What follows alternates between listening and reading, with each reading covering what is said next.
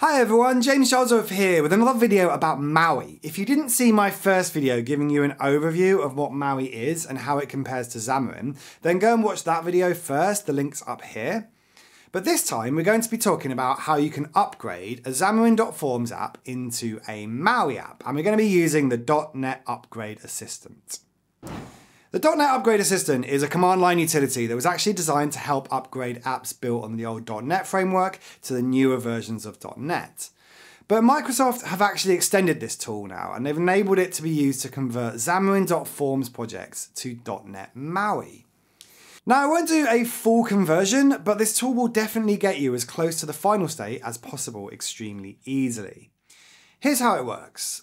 First, you need to install the .NET Upgrade Assistant, and you can do that by going into the terminal and running .NET tool install-g and then upgrade-assistant. So we do that and we'll just wait for that to download and install. Then you can run it with the command that it tells you about here. So I'm going to go and do this upgrade-assistant and then dash dash version just to check that it's installed. It should print out the version number here. There we go.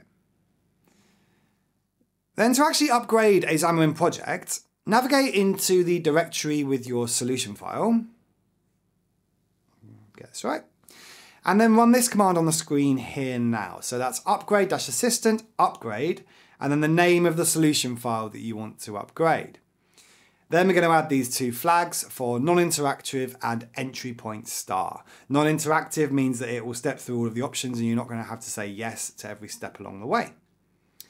Once you kick that off on your solution, then these are the steps that the upgrade assistant will take. First, it will select an entry point and then it will select a project that you want to start upgrading from. And then it will be backing up your project so it doesn't cause any disruptive changes. Then it will go ahead and convert your projects to the newer SDK style of project. Next thing it will do is it will add the target framework for .NET MAUI project. Then the tool will make sure that you have the .NET MAUI workload installed in Visual Studio. And again, that's in my other video linked up here on how to install that manually in Visual Studio if you need to. Next thing the upgrade assistant will do is it will go ahead and remove packages like Xamarin.Forms and it'll upgrade those to use MAUI packages like CommunityToolkits.maui and packages like that.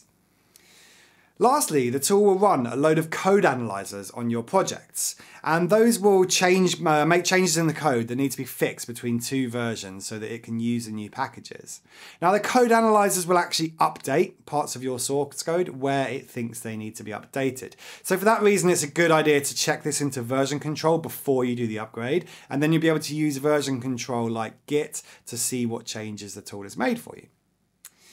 Lastly, it will update your project properties and you'll be all set to open up your solution in Visual Studio and see it hopefully as a working MAUI project.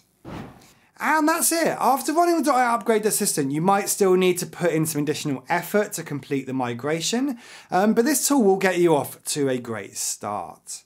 So I hope you found this tutorial helpful. If you have any questions or feedback, then please pop them in the comment section below. Don't forget to like this video and subscribe to my channel for more content on programming and web development in general. I'm James Charlesworth and I'll see you in the next video.